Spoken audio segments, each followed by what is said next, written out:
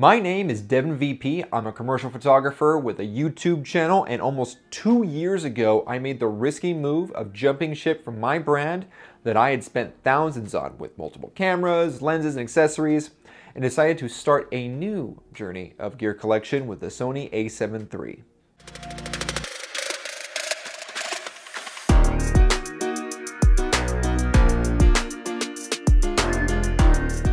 Like I said, what I do is commercial photography. The large majority of my work is for real estate photography with some weddings and portrait sessions scattered throughout my calendar. Up until this purchase, my main driver was the Canon 6D, of which I have two, and I've also had this Canon 70D as a backup for photo and my primary for video of the little video that I've done. I had been looking to upgrade my main camera for some time before deciding on the a7 III. I considered shelling out a whole $3,500 for the 5D Mark IV and also briefly considered the 6D Mark II due to its much lower price. But then a new challenger entered the ring, one I thought I'd never consider until I read its long list of features, followed by a very competitive price relative to what Canon and Nikon was offering. To me, the a7 III was offering everything I needed and more for a very reasonable price of $2,000, same as the 6D Mark II at the time. The features that I valued most were the dynamic range, the 4K video, and the articulating screen. What really pushed me to jump ship though was the massive difference between what you can call features per dollar that was being offered by Canon and Sony. Canon seemed to be purposefully withdrawing features on their cameras to increase, I'm guessing, their bottom line such as keeping 4K out of the 6D Mark II to push sales to the more expensive 5D Mark IV, or having you send in your 5D Mark IV and paying over $100 extra just to get log profiles. Both of these features should have been available at launch, I think, and probably could have been added via a software update sometime after launch. Meanwhile, Sony is launching cameras year after year with the latest and greatest features. It seemed clear to me that Canon didn't feel the need to innovate like Sony continues to do. So when I finally got my hands on the Sony a7 III, I noticed it was a bit bigger than I expected. I had actually assumed that it was going to be closer in size to the a6000 series, but it's actually noticeably larger. Still much smaller and lighter than my Canon 6D, which is a tad bit smaller than the 5Ds. The size was actually much easier to get used to than the buttons. The buttons feel really gummy, squishy, and unfortunately the shutter button seems to be the worst as it sometimes feels a bit fickle. If it's on a tripod and I'm trying to get a steady shot with a two second timer, I sometimes have to press it twice because it doesn't actuate the first time. But other times when it's handheld, it feels so sensitive that I accidentally press it twice when I mean to press it once, even when the drive mode is on single shot, so I'm not really sure what exactly is the issue there. One thing I noticed quite quickly was the battery life. I used to swap my battery after about two to three property shoots with the 6D. With the A7 III though, I managed to get five to six shoots without feeling the need to swap batteries. I believe this is actually partially due to the Sony showing an actual percentage rather than a fake three bar indicator so that I know exactly how much battery life I have, which makes me feel more confident using the battery until it's near empty. I first began using the camera only for my real estate shoots, and there was an immediate and dramatic improvement to my shooting. For one, because of the articulating screen, I no longer had to bend down to get a good look at the display. That actually cured a ton of back pain.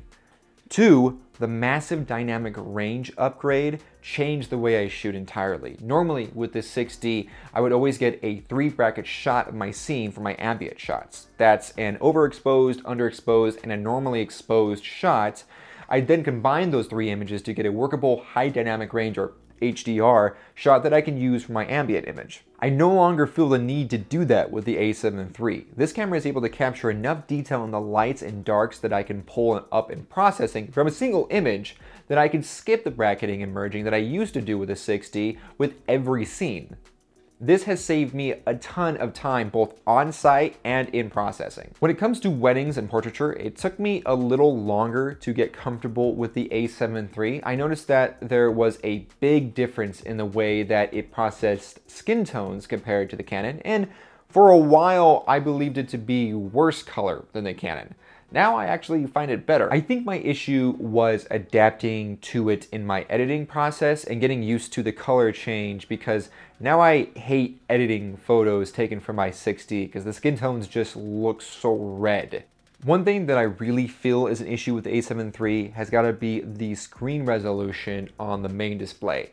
I really didn't think it was going to be much of a problem because I figured I'd mostly use the viewfinder, but when you have an articulating screen that is just as accurate and responsive as a viewfinder, you're naturally going to focus on the screen more often. But the low resolution of the screen is actually a huge problem. Most of the time, I can't tell what exactly is in focus unless I use the viewfinder just because of the low resolution of the main display. Depending on what I'm doing, that may just render the screen to be useless to me at times, which sucks because then I have to change the way I use my camera again and it gets frustrating. Funny thing that's changed that I totally didn't expect was my grip. Because of the smaller size of the a7 III and its articulating screen, I now find myself naturally holding cameras with my thumb on the shutter button instead of my index finger.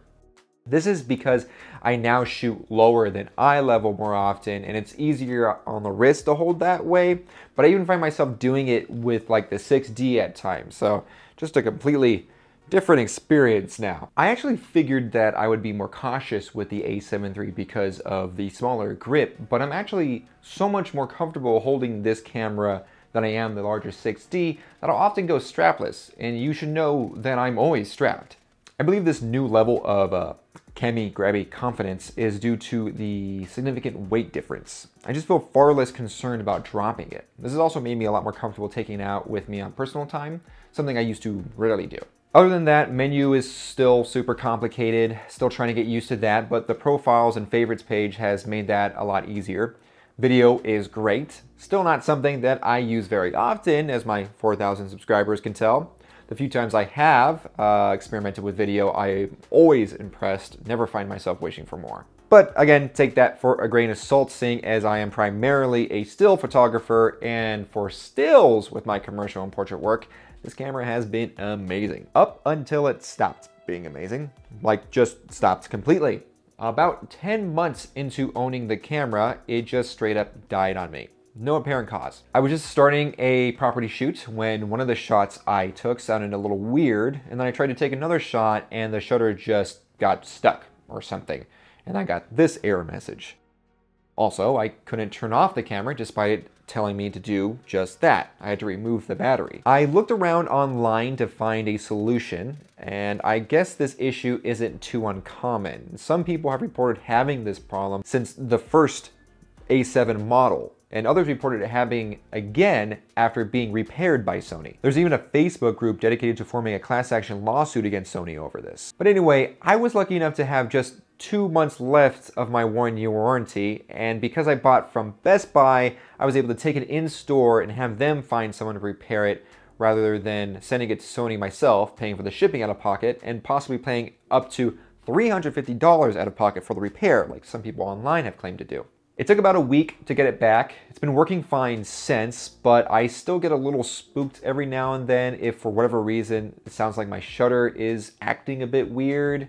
Despite this, I actually still plan on picking up a second a7 III at some point. I've also decided to completely switch over to Sony. I've already picked up the a6400, which I'm currently using to film this entire video, and I'm trying to sell all of my Canon gear. Making this switch was definitely a risky decision, but I'm really glad I did it.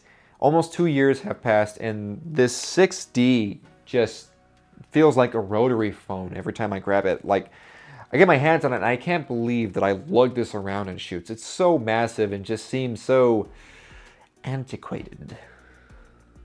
Not a bad camera, but definitely feel like I've got an upgrade. Let me know if you guys have any questions about my use with the a7 III and making the switch.